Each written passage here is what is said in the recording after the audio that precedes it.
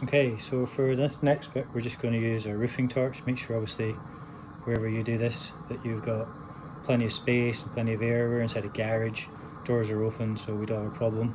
And basically what I'm going to do is I'm going to take the torch, I'm going to put it onto the bottom of the heat pipe, and as we come to the top, um, you can obviously hopefully see some gas venting out. So with a bit of luck, I'll try and line up the shot so that you can, that you can see it. And then what we've got over here, we've got a little top and once we're good to go. We've got steam coming out. We'll pop it on. So let's get the let's get the gas on the bottom of the pipe and get it started heating up.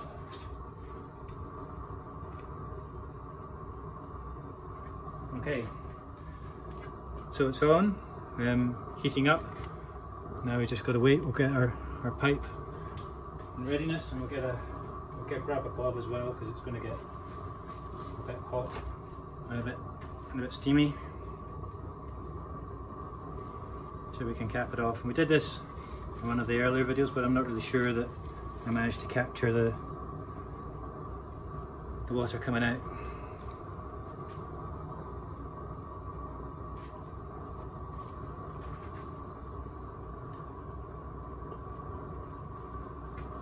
Okay, so now hopefully you can see it pluming out the steam, which is kind of what we want, right? So we're gassing out, which is great and then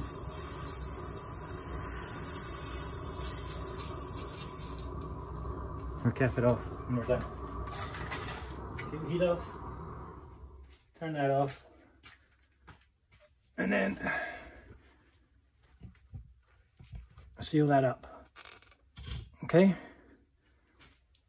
then we have now created our heat pipe. So what's happened in there is that we've driven out all the air, we've had all our steam come out, and effectively we've capped that off.